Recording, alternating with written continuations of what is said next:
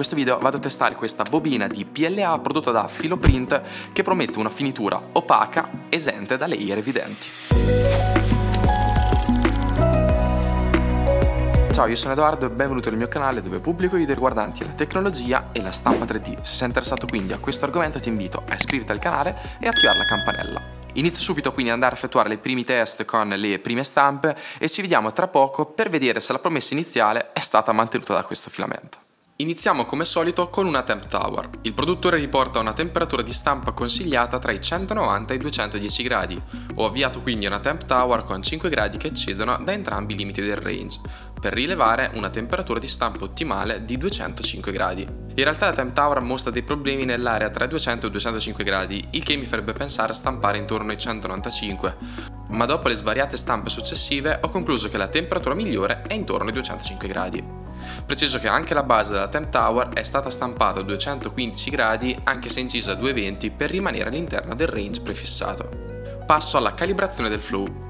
Per prima cosa ho misurato il diametro effettivo del filamento che risulta essere tra 1.74 e 1.76 mm. Ho stampato quindi il cubo cavo con un solo layer perimetrale con un layer width di 0,48 mm, come di default su Simplify 3D, con il 98% di flow ed effettivamente la misurazione riporta esattamente tale dimensione. La retraction è gestita in maniera egregia da questo filamento. Ho stampato ben 5 torri con retraction da 1 a 5 mm sempre a 30 mm al secondo ed il risultato ottimale è con l'ultimo valore citato. Ecco quindi le 5 stampe e come ci si può aspettare si nota un notevole miglioramento all'aumentare della distanza di retraction. Infatti l'ultima stampa di 5 mm offre un risultato apprezzabilissimo che permette stampi di modelli con porzioni molto ravvicinate senza avere problemi. L'Overhang Angle Test è un'altra vittoria per questo filamento che ne esce con una valutazione piena. La stampa perimetrale non dà problemi a questo filamento. Infatti ho stampato due modelli con risoluzione 0.2 e 0.4 mm e si nota una leggera differenza tra i due che può essere riassunta in un miglioramento di circa 5 gradi. Infatti la versione da 0.4 inizia ad avere problemi attorno ai 70 gradi, invece quella da 0.2 mm si comporta in modo accettabile sino ai 75. Passiamo al bridging, dove ho testato la stampa sul vuoto su distanze da 1 a 10 cm, con un risultato per niente male. Fino a 80 mm non si hanno problemi, successivamente si iniziano a notare i primi strati che colano dal modello, ma nessuno di questi ha ceduto o creato particolari problemi, un risultato nella norma. Segue la stampa della famosa barchetta 3D Benchy, stampata a due diverse risoluzioni con la temperatura ottimale rilevata precedentemente. Il risultato è esteticamente molto valido. È talmente valido che si fatica a notare dei problemi nelle stampe. L'opacità ridotta del filamento permette di intravedere l'interno mostrando il pattern dell'infill. La scritta sul fondo è chiara, si nota raramente qualche punto in under extrusion che può benissimo dipendere dalla stampante e nella versione da 0.4 mm di layer 8 si notano dei leggeri problemi nella parte superiore dell'arco. Per curiosità personale ho sottoposto il modello 3D Benchy ad elevate temperature. Semplicemente ci ho versato dell'acqua bollente per analizzarne il comportamento. Risultato? Il modello si è infranto dopo poche torsioni impresse con una pinza. Preciso però che controllando il datasheet del materiale, questo resiste al calore fino a 60 gradi, un valore che rientra nella norma per i PLA. Quindi il risultato ottenuto non è di certo vincolante per la recensione. Passiamo alle proprietà meccaniche che ho diviso in due parti. Il primo test è la resistenza alla trazione con un moschettone, che ha ottenuto la valutazione sufficiente. In questa parte inoltre è possibile anche notare la facilità di rimozione dei supporti.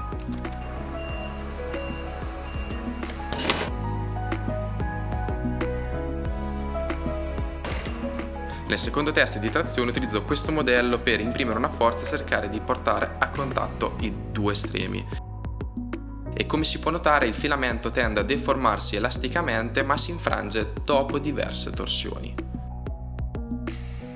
Di seguito ho continuato a stampare dei modelli inerenti all'utilizzo di questa bobina, lascio quindi alcune clip per apprezzare le qualità estetiche di un modello di Einstein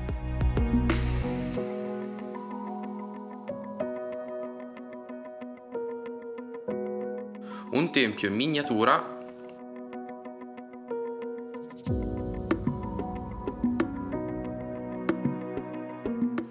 un capitello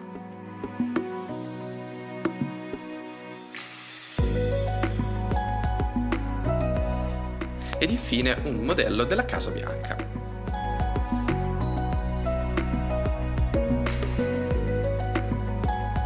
Colore trasparente l'opacità di questo filamento mi piacciono veramente tanto come caratteristiche. A mio parere tra i PLA che ho testato in precedenza questo è sicuramente tra i migliori. Grazie agli additivi aggiunti il materiale risulta essere molto resistente alla trazione e alla torsione, cosa che non spesso o meglio quasi mai si nota nei PLA. Il materiale si stampa come qualsiasi altro PLA, quindi non si ha bisogno di particolari attenzioni nei vari parametri, è discretamente semplice stamparlo. Gli strati sono effettivamente molto molto coesi, quindi la coesione tra i layer è effettivamente molto molto valida, quindi la rifinitura speciale offre un'elevata risoluzione visiva ed è apprezzabilissimo il risultato che si va ad ottenere. Più sotto puoi trovare le impostazioni di stampa che ho utilizzato con la mia Annette per stampare a meglio questo materiale e se lo acquisti anche te e avete problemi nel stamparlo scrivi pure nei commenti dove sarò felice di aiutarti. Per qualsiasi altra domanda resto comunque disponibile, qui di fianco trovi la mia playlist dedicata alla recensione dei filamenti 3D, più sotto un altro video del mio canale, noi ci vediamo alla prossima, stammi bene.